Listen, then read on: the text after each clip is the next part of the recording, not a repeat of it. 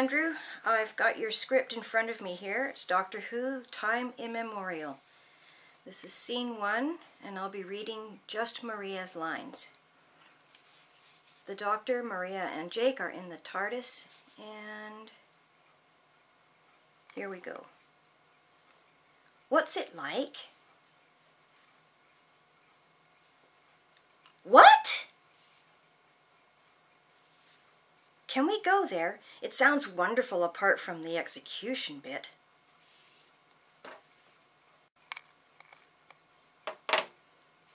Okay. How? Genocide twice over. What's that?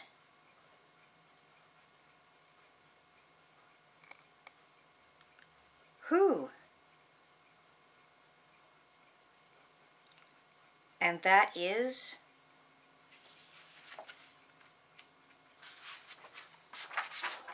oh, pardon me. Oh my gosh. Oh. No, no, that wasn't part of the film. I was looking at the script, sorry. Uh, let's see.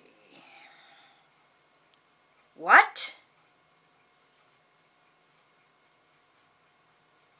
How? He is an alien, Jake. So, where are we going, Doctor?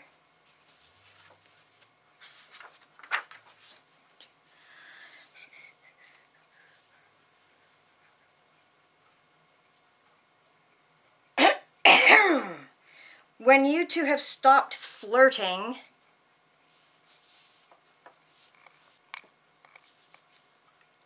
So you've been here before?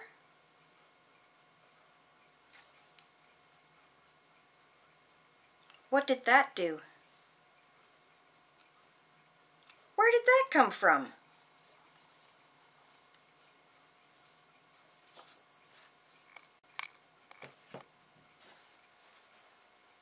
It's big in here. I can't see them. All I see are hundreds of pocket watches. So when Time Lords die, they turn into watches? You knew her.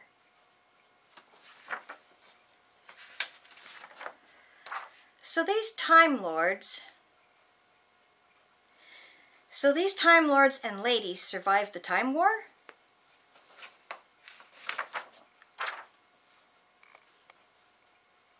Doctor, are you all right?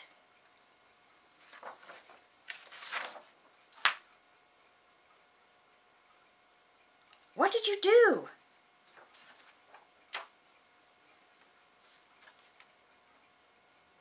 Doctor, what was that? You mean all of our friends are... Shut up! It's your fault!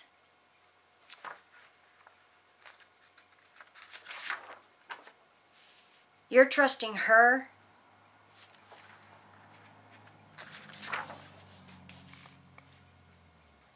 You lucky you weren't here earlier. Jake and River were virtually kissing.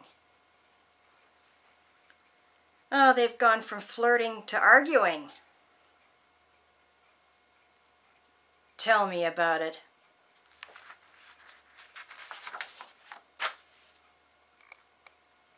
Doctor? What are they doing?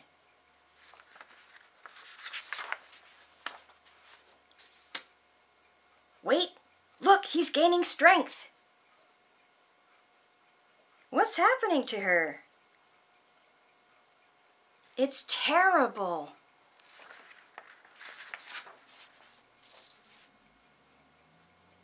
Doctor, where have your other selves gone? And that is?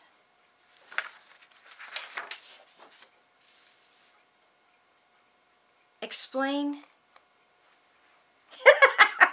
you Time Lords sure have a true sense of complication, and to think that you've been traveling since 1963.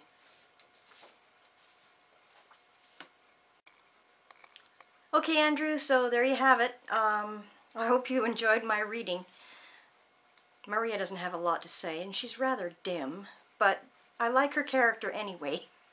she sure told the Rani to where to go.